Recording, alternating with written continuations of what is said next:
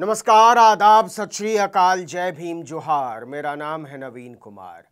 शरद पवार के एनसीपी के अध्यक्ष पद से इस्तीफे के ऐलान ने सुप्रिया सुले के उस दावे की याद दिला दी, जो उन्होंने 17 अप्रैल को किया था। याद आया? चलिए हम याद दिला देते हैं। सुप्रिया सुले ने दावा किया था कि 15 दिन में महाराष्ट्र की राजनीति में बड़ा राजनीतिक विस्फोट होने वाला है। और गौर कीजिए, ठीक सोलहवें दिन, यानी दो मई को शरद पवार ने अपने पद से इस्तीफे का ऐलान कर दिया। यानी पंद्रह दिन पहले ही सब कुछ तय हो चुका था। बस सही मौके और समय की तलाश थी। इतना ही नहीं, उत्तराधिकारी का नाम भी तय हो चुका है। बस औपचारिक ऐलान बाकी है, समझ लीजिए। राजनीति के जानकार ऐसा दावा क्यों कर रहे हैं, इसके लिए पूरी कहानी को बारीकी से समझना ज़रूरी है। महाराष्ट्र के समुद्र में इतने तूफ़ान नहीं आते होंगे जितने कि राज्य की सियासत में आते हैं। दो मई को जैसे ही शरद पवार ने अपने इस्तीफे का ऐलान किया, राजनीति के गलियारों में नया सवाल पैदा हो गया कि शरद पवार की जगह कौन? लेकिन जानकारों का दावा है कि यह सब कुछ पहले ही तय हो चुका था।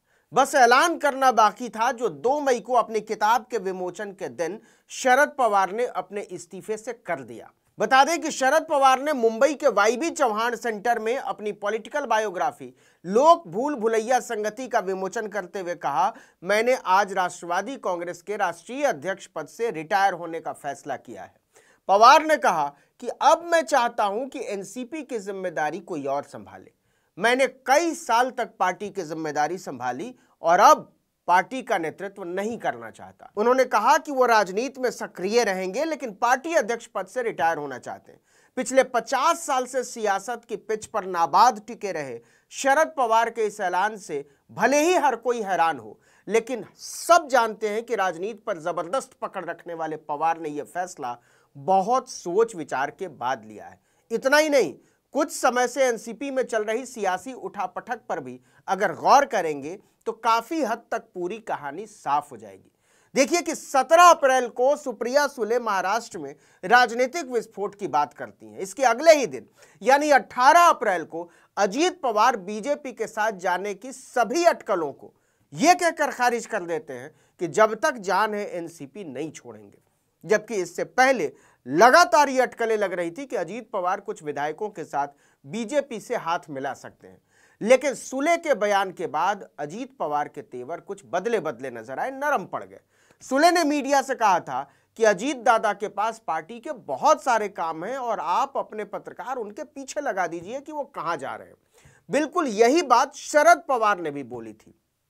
इतना ही नहीं, इससे पहले 27 अप्रैल को ही शरद पवार के बयान ने कुछ ऐसा इशारा कर दिया कि महाराष्ट्र में जल्द ही कुछ नया होने वाला है। याद कीजिए, जब मुंबई में आयोजित युवा मंथन कार्यक्रम में शरद पवार ने रोटी पलटने की बात कह डाली थी। उन्होंने कहा था कि किसी ने मुझे कहा कि रोटी सही समय पर पलटनी होती है।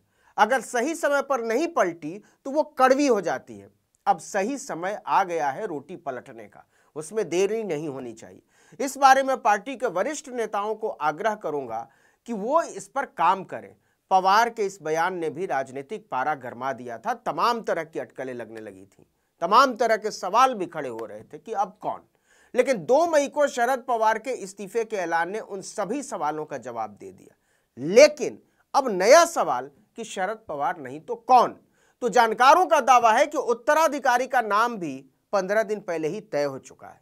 हालाँकि पवार के इस्तीफे के बाद पार्टी का अध्यक्ष चुनने के लिए एक कमेटी बना दी गई है। इसमें प्रफुल्ल पटेल हैं, Sunil Tatkare, K K Sharma, PC Chacko, Ajit Pawar, Jayant Patil, Supriya Sule, Chhagan Bhujbal, Dilip Patil, Anil Deshmukh, Rajesh Tope, Jitendra आहलाद Hasan Mushrif, Dhananjay Munde, Jaydev Gaekwad वगैरह का नाम शामिल है।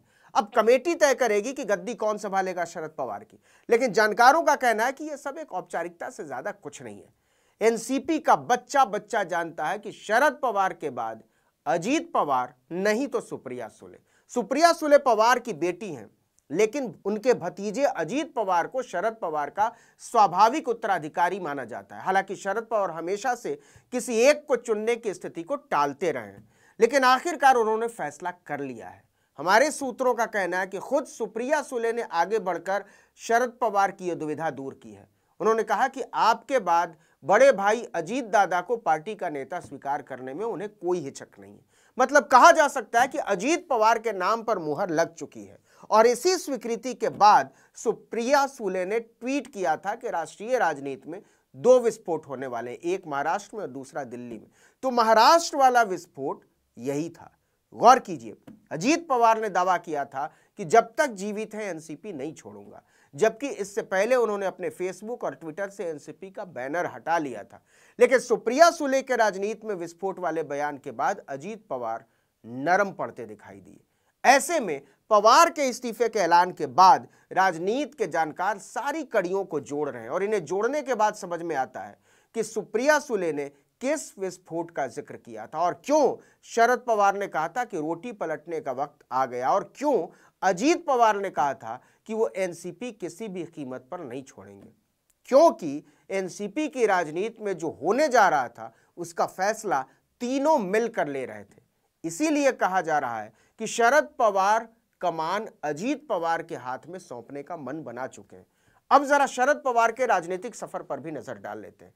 27 साल की उम्र में विधायक बनने वाले शरद पवार ने 1978 में दिखा दिया कि वो राजनीति में लंबी रेस के घोड़े हैं। 1978 में महाराष्ट्र में विधानसभा चुनाव हुआ। तब किसी भी दल को बहुमत का आंकड़ा नहीं मिला। तब जनता पार्टी को सत्ता से दूर रखने के लिए कांग्रेस और इंदिरा कांग्रेस ने हाथ मिला लिया और सरकार बना ली। लेकिन इसके बाद इंदिरा गांधी से शरद पवार की अनबन हो गई और उन्होंने बड़ा सियासी दाव चलते हुए कांग्रेस के उनहत्तर विधायकों में से 40 को तोड़कर नया गठबंधन बना लिया। इस गठबंधन की सरकार में शरद पवार पहली बार महाराष्ट्र के मुख्यमंत्री बने। इसके बाद उन्नीस में उन्होंने कांग्रेस पार्टी सोशलिस्ट का गठन किया। लेकिन उन्नीस में शरद पवार वापस कांग्रेस में शामिल हो गए थे। पवार कुल तीन बार महाराष्ट्र के मुख्यमंत्री बने, लेकिन उन्होंने उन्नीस सौ निन्यानवे में सोनिया गांधी के खिलाफ आवाज़ उठा दी। पवार ने पार्टी की कमान विदेशी मूल की महिला को देने के मुद्दे पर बगावत कर दी थी। नतीजा पार्टी से उन्हें निष्कासित कर दिया गया। इसके बाद उन्होंने नेशनलिस्ट कांग्रेस पार्टी यानी एनसीपी का गठन कर लिया। हालाँकि इसके बाद उन्होंने हर बार कांग्रेस के यूपीए गठबंधन के साथ मिलकर काम किया। बाद में लंबे समय तक वो केंद्र में मंत्री भी रहे। इस दौरान भी दिल्ली से लेकर महाराष्ट्र तक की राजनीति में शरद पवार की तूती बोलती रही। आज महाराष्ट्र की राजनीति में उनसे बड़ा कोई नेता नहीं है। हालाँकि पवार ने साफ़ कर दिया है कि मैं एनसीपी के अध्यक्ष का पद ज़रूर छोड़ रहा हूँ, लेकिन सामाजिक जीवन से रिटायर नहीं हो रहा हूँ। मैं पब्लिक मीटिंग और कार्यक्रमों में शामिल होता रहूँगा। आप लोगों के लिए हमेशा की तरह उपलब्ध रहूँगा। लोगों की समस्याएँ सुलझाने के लिए मैं हर वक्त काम करता रहूँगा। मैं आपके साथ था और आपके साथ आखिरी सांस तक रहूँगा। यानी उन्होंने पद से इस्तीफा भले ही दे दिया है, लेकिन पार्टी की डोर उन्हीं के हाथ में रहेगी। एनसीपी के नए अध्यक्ष को उनके सक्रिय रहने तक उनकी छाया में ही काम करना होगा। इस वीडियो में इतना ही, लेकिन अगर आपने आर्टिकल 19 इंडिया को अब तक सब्सक्राइब नहीं किया है तो फ़ौरन कीजिए बेल आइकॉन दबाइए, घंटी जैसी आकृति लाइक कीजिए और कमेंट करके बताइए हमारा वीडियो आपको कैसा लगा। यूट्यूब पर देख रहे हैं तो हमारे चैनल को सब्सक्राइब कीजिए फेसबुक पर देख रहे हैं तो हमारे पेज को लाइक कीजिए इंस्टाग्राम पर हमें फॉलो कीजिए और हमारा ट्विटर हैंडल है आर्टिकल नाइनटीन इंडिया और मेरा ट्विटर हैंडल है नवीन जर्नलिस्ट आप मुझे भी फॉलो कर सकते हैं। नमस्कार। Música